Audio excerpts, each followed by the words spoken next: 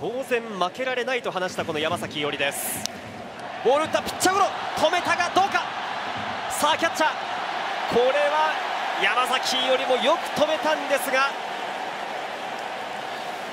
結果はヒット。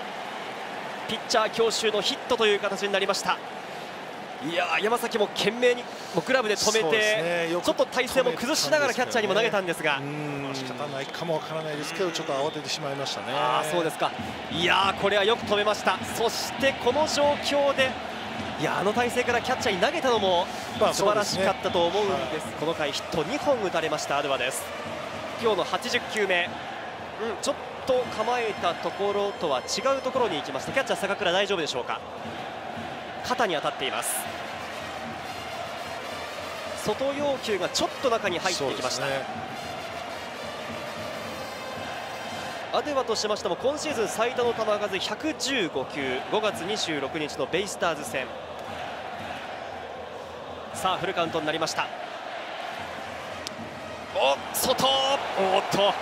アドゥアもがっくりというところですが。ボールですよね。これ岡本選手がよく見極めたというか、えー、そういうボールですね、まあ、あのどっちでも言えそうですけどやっぱりボールはボールですよね。右気味のこのモンテスです。おとこれは避けていないという判断になりました。ちょっと抜けたボール審判から説明があります。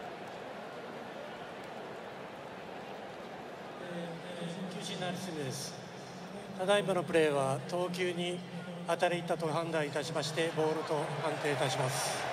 投球に当たりにいったということでこれはデッドボールとは判定ボールです。まあモンテスとしても塁に出たいといいますかそんな思いもあったのかもしれませんが